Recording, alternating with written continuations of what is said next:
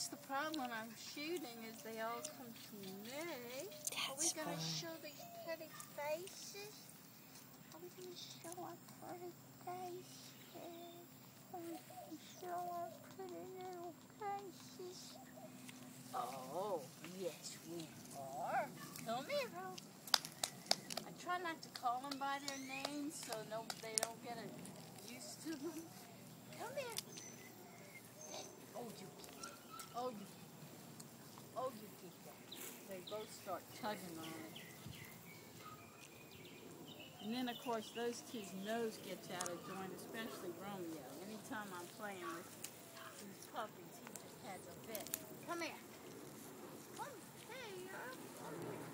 So you almost out of school? Three more days, but who's counting? Yeah. All Mom, this is going to be on the video, y'all. Oh my, that's all right. Oh, come here. Oh, come here. Get daddy.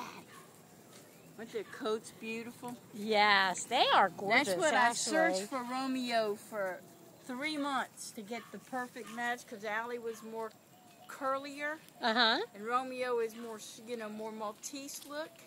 So I took three months to find him, and Wow. the puppies' coats always come out. Yeah, they are Gorgeous. And every litter, I've had two little girls this exact look. White triangle foreheads, white tip paws, same coloring.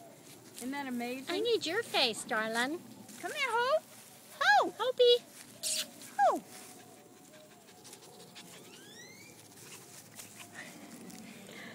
I want you to see him attack the AC vents. That is just hysterical. They are too funny. I don't get much done in my day anymore. Of course not.